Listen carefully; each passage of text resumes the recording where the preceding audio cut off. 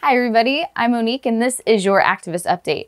San Diego County Gun Owners is proud to announce that we are the plaintiff in a lawsuit that we hope will finally end California's unconstitutional assault weapons ban. Basically, the idea behind the lawsuit is this a Ninth Circuit judge recently found that magazines are constitutionally protected. In California, depending on the configuration of your rifle, you might be committing a felony if you use a normal capacity magazine in a legally owned rifle. Does that make any sense? You legally purchased it, yet you might not be able to legally use it?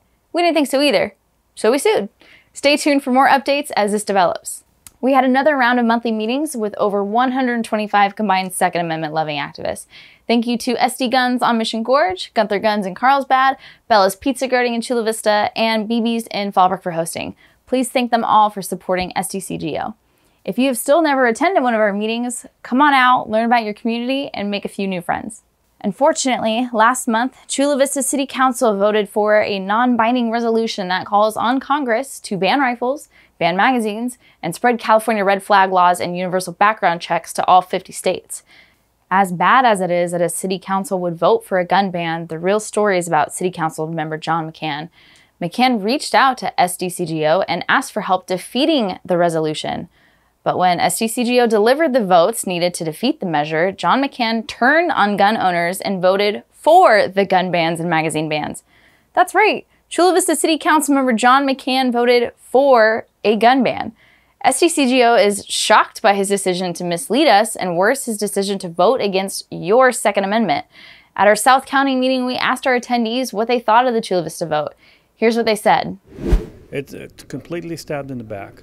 Uh, Second Amendment clearly says that the end shall not be infringed, and when local municipalities get in the way of something federal, when they say are they are our Second Amendment friends, total betrayal. I'm pretty upset about the Councilman McCann's uh, betrayal. Uh, I felt like in the last election, he's someone I could count on to defend our rights, and I also don't think that the local politicians should get involved at all in things that are happening on the national level. I wish you'd concentrate more on things here at home. We will be talking more about plans and options we have for John McCann's political future, and we might need your help, so stay tuned. We have two exciting events we want you to attend, so mark your calendar. No, seriously, go get your calendar. I'll wait.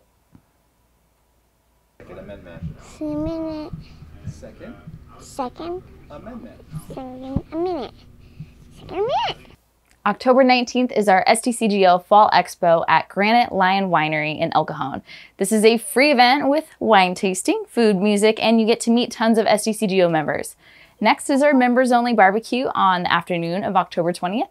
Our members only barbecue is at an outdoor range in North County and is a shooting event that is absolutely free for SDCGO members. Stay tuned for details on how to sign up and attend each event. Lawsuits, anti gun turncoats, fun events, and an election right around the corner.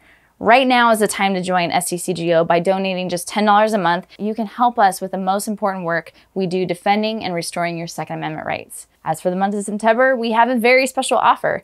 If you sign up to become a 10 ring member, Kali Key will send you for free an AR-10 or AR-15 Kali Key and BCG combo bundle. Plus, you get a one year subscription to Recoil Magazine. There's no better time, so check out the link in the description below and join today.